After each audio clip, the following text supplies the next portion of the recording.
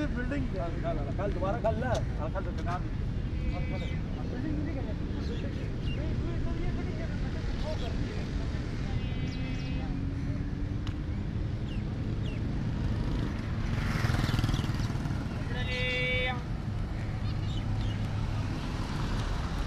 Beep.